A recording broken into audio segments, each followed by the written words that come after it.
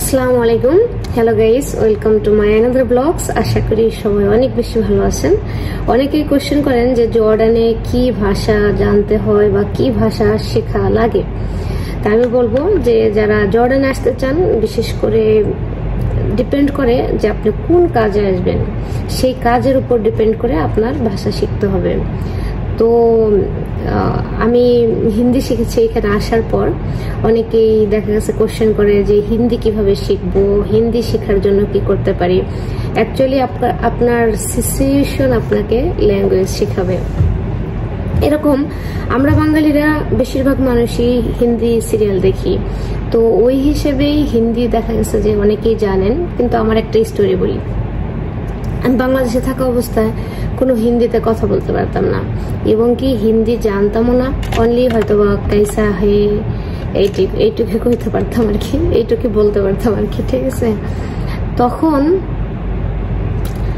এখানে আসার পর তে আমি তো হিন্দি বুঝি না। এখানে অফিসিয়ালি হিন্দি যারা ইন্ডিয়ান আছে, হিন্দিতে বলতে হয়, শ্রীলঙ্কান যারা আছে, তারা দেখা গেছে ইংলিশ পারে। ইংলিশে বললেও বুঝে। তো ইংলিশে হাই হ্যালো তো মোটামুটি পারতাম আর কি, যেহেতু বাংলাদেশেও কাজের এক্সপিরিয়েন্স ছিল। তো একদিন একটা আপ মেরা কো হিন্দি শিখায়েঙ্গি। মানে আপনি কি আমাকে হিন্দি শেখাবেন? এই কথাটাও আমি একজনের কাছ থেকে শিখে তারপর আর একজনকে বলছি যে আপ মেরা কো হিন্দি শেখায়গা।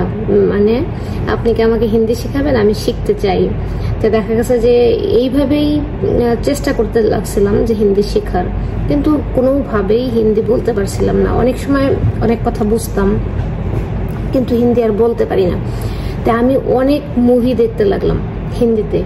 কিন্তু বুঝি না মুভির তো আমরা দেখা গেছে স্ক্রিপ্ট দেখলেই বুঝি এরপরে কি হবে বা কি হতে পারে।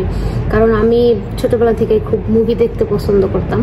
অনেক মুভি দেখছি আমার লাইফে তো পরে আমি এরকম মুভি দেখা শুরু করি। মুভি দেখার পর থেকে তারপর আস্তে আস্তে এরকম আমার কাজের ডিপার্টমেন্ট চেঞ্জ করে আমি অন্য জায়গায় আসলাম।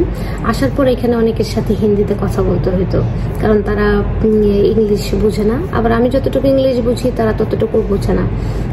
যাদের সাথে বলতে হইতো। আবার অনেকে আছে অফিসিয়াল লেভেলে ইংলিশে কথা বলতাম। তখন তারা বুঝতো। পর আস্তে আস্তে এইভাবে হিন্দি মানে বলতে বলতে শিখে ফেললাম। তা আপনারাও যারা হিন্দি শিখতে চান, শিখতে পারেন। আর জর্ডানে যেহেতু যদি গার্মেন্টসের অপারেটর হিসেবে আসেন, তাহলে বাংলা জানলেই হবে, হিন্দি না জানলেও হবে।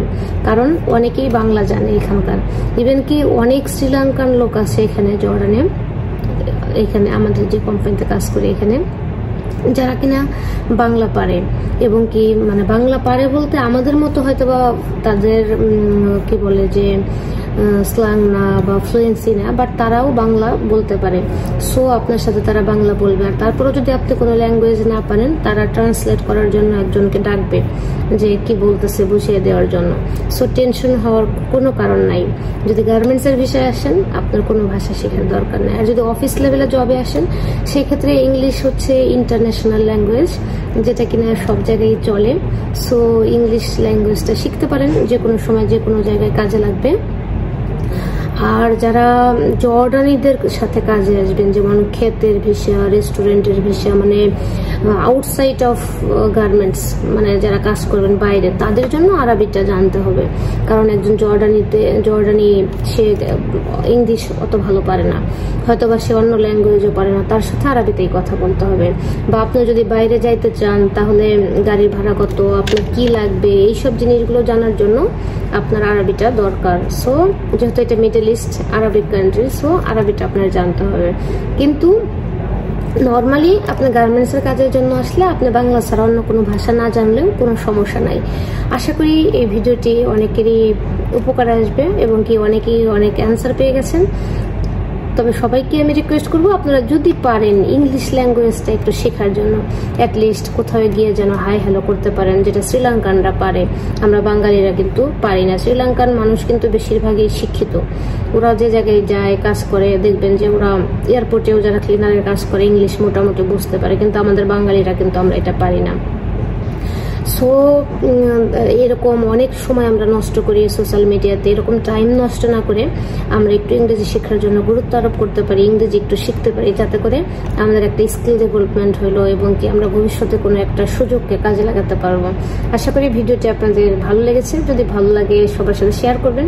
চ্যানেলটিতে নতুন হয়ে থাকলে সাবস্ক্রাইব করবেন। সবাই ভালো থাকবেন, সুস্থ থাকবেন। দেখা হবে আবার নেক্সট ভিডিওতে। আসসালামু আলাইকুম।